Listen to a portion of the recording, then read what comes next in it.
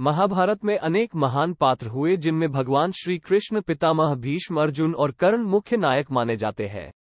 इन सभी पात्रों में रही अनेक विशेषताओं के कारण महाभारत के कई प्रसंगों में अलग अलग नामों से संबोधित किया जाता है।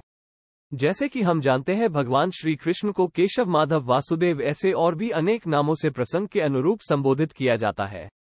वैसे ही कर्ण के भी अनेक नाम है। जी हाँ दोस्तों, वेद व्यास जी की महाभारत में कर्ण को भी कई नाम का सम्मान प्राप्त हुआ है, जिनमें से प्रमुख इस सोलह नामों से कर्ण को जाना जाता है। या ऐसा कहे कि ऐसी खूबियों के कारण उन्हें ये सोलह नाम प्राप्त हुए हैं।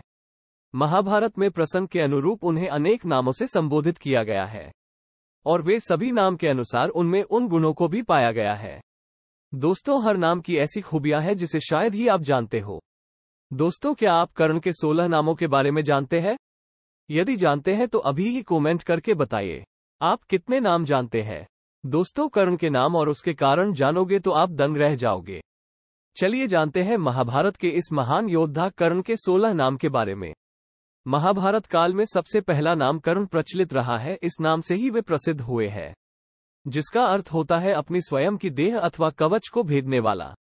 अब जानते हैं कर्ण के बाकी अन्य पंद्रह नाम और उनके अर्थ के बारे में।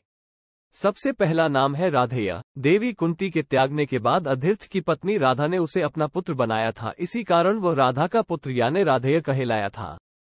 दूसरा नाम है वैकर्ताना। भगवान सूर्य से उत्पन्न है, इसीलिए उन्हें अभेद्य कवच और कुंडल प्राप्त थे। ऐसे सूर्य देव से संबंधित होने कारण उन्हें वैकर्ताना कहा जाता है। तीसरा नाम है रश्मिरथी, जो सूर्य देव का पुत्र होने के कारण प्रकाश के रथ पर सवार होने की क्षमता रखता था, इसीलिए उसे रश्मिरथी भी कहा जाता था। चौथा नाम है वासुसेन, ये नाम इसीलिए रखा गया है क्योंकि जन्म के समय उन्होंने धन संपत्ति के साथ जन्म लिया था, क्योंकि वो सोने के कवच और कुंडलों से युक्त जन्मे थे। इसीलिए उनका नाम वासुसेन रखा गया था। पांचवा नाम है सूर्यपुत्र। देवी कुंती ने दुर्वासा मुनि के मंत्र से भगवान सूर्य को प्रकट किया था, उन्हीं की कृपा से कर्ण का जन्म हुआ था। इसीलिए उसे सूर्यपुत्र कहा जाता है। छठा नाम है सौता। सूत का पुत्र होने के कारण अथवा सूत जाति से संबंधित होने के कारण उसका एक नाम सौता भी कहा जाता है। सातवां नाम है सूत पुत्र। उसके पालक माता पिता सूत थे, इसीलिए पुत्र होने के कारण अथवा सारथी यानी सूत जाति से संबंधित होने के कारण उसे सूत पुत्र कहा जाता था। आठवां नाम है एनराज हस्तिनापुर की रंगशाला में जब कौरव पांडवों की शिक्षा पूर्ण होने पर सब अपने अपने कौशल दिखा रहे थे, तब कर्ण ने भी उसमें हिस्सा लेना चाहा, तब सुत पुत्र होने पर उसका मज़ाक बनाया गया, जब दुर्योधन ने उसे अंग देश का राजा बना दिया था। इसीलिए अंग राज्य का राजा होने के कारण उसे एनराज कहा जाता था। नोवा नाम है अधिर्थी। माता कुंती के गंगा में त्याग देने के बाद पितामह भीष्म के सारथी अधिर्थ ने गंगा से निकालकर अपना पुत्र बनाया, इसी कारण उसे अधीरथी भी कहा जाने लगा था। दशवां नाम है दानवीर। बचपन से नियम बद्ध होकर उसने अपने किसी भी याचक को खाली हाथ नहीं लौटाया और जीवन में बड़े बड़े दान किए जो करने का साहस संसार में कुछ ही लोग रख सकते हैं, वैसा साहस रखने वाला था। इसी दानवीर उदार चरित्र और सामर्थ्य को देखते उसे दानवीर कहा जाता है। ग्यारहवा नाम है दानशूर। सच्चाई से और नीति नियम से सच्चे योद्धा की तरह बिना छल कपट के लड़ने की उसकी खासियत के कारण उसे दानशूर भी कहा जाता था।